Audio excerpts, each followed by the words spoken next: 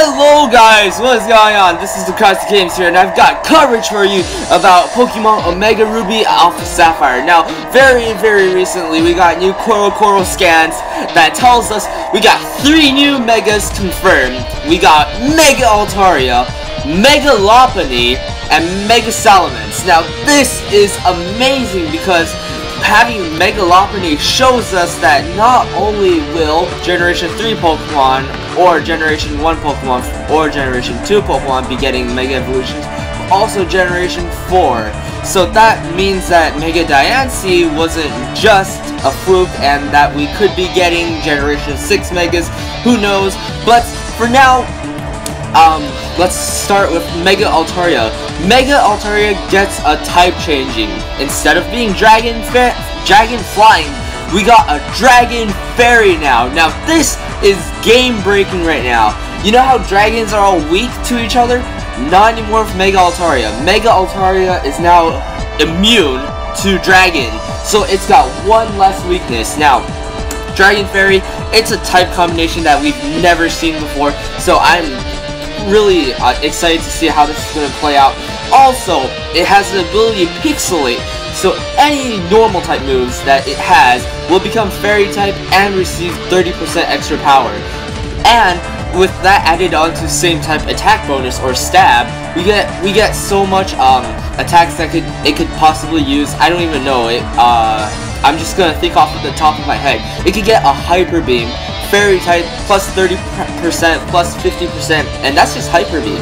We don't even I, i'm not even sure what other moves it has but off the top of off the top of my head all i can think of is hyper beam. So yeah that's what i've got for you right now.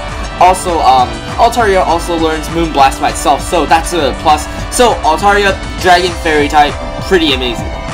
Now lopunny. Lopunny is um going to be normal and fighting type now. Now you can see its fur got less and less, and now it's doing that uh, karate kick move um, stance thingy right there, and it gets the ability Scrappy. Now it's more of an offensive Pokemon. It's gonna have better attack. I um yeah, better attack, and I think maybe speed, possibly. I'm not too sure. But anyway, Scrappy, it allows normal and fighting type moves. Both of Lopunny's stabs when it's Mega hit um hit Ghost type Pokemon. So that is amazing. That makes uh that makes nothing immune to Lopunny, Lopunny so Lopunny will be a very dangerous Pokemon, but uh, again, it might just turn up like an Absol where nobody ever wants to use it, so we don't know.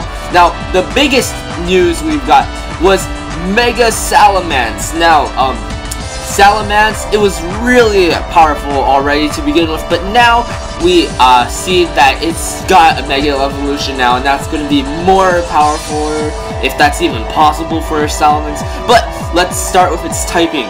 Now, we thought that it would drop its flying type for anything else like fire, but now it's actually still a dragon and flying type Pokemon. It doesn't have as many flying type moves as we all know, maybe like wing attack or something, but it's not usable in competitive battling, so nobody ever uses flying type moves, therefore its flying type is pretty much useless except for actually having the ground uh, immunity.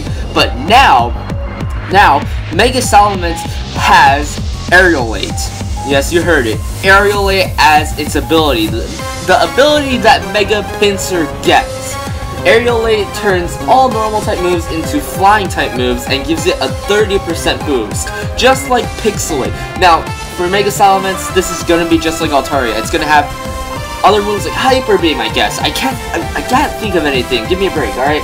So, like, let's just say Hyper Beam. Hyper Beam, alright? It's gonna turn into a flying type move, plus 30% due to Aerilate, plus another 50% due to same type attack bonus, that's going to be one dangerous attack from the Mega Salamence, and flying type moves are uh, good for coverage, I guess. What does it do? Like, it covers with grass and fighting. I, I can't think of anything right now, but it's going to be interesting to see how a flying attack on a Mega Salamence might change the metagame, but I'm not too sure how it's going to uh, work out. So, there you have it, guys.